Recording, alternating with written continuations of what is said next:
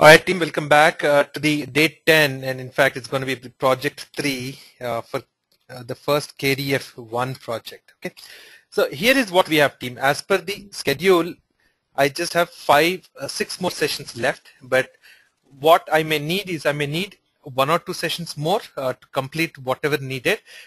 I may also either do, let's say, about five, ten minutes additional per day if it's okay with you uh, to catch up some of the lost time and uh, uh, then uh, if need be I'll extend by one or two days at the end okay all right team so keyword driven framework here is what I had in mind for this so what we're to do is we're to use youtube.com all right and we will go to a very simple step of uh, test cases that we can automate using keyword driven framework.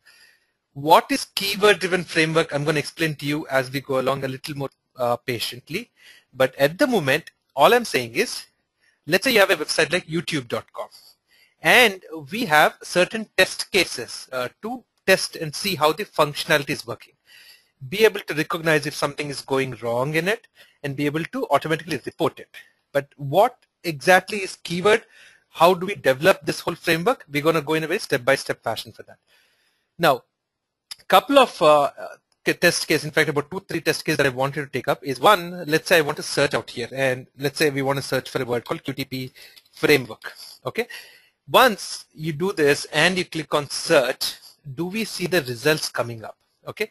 Uh, do we see this word search results for QTP framework?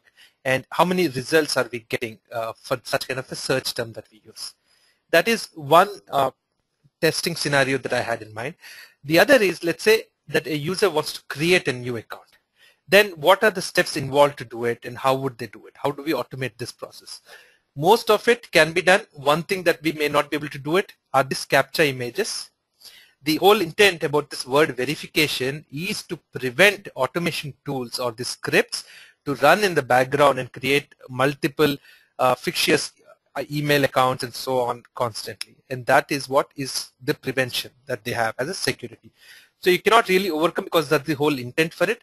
But if this this particular testing scenario is in a development uh, phase, then what can happen is you can have a temporary code that is given to you to test it on a different server altogether, not the production.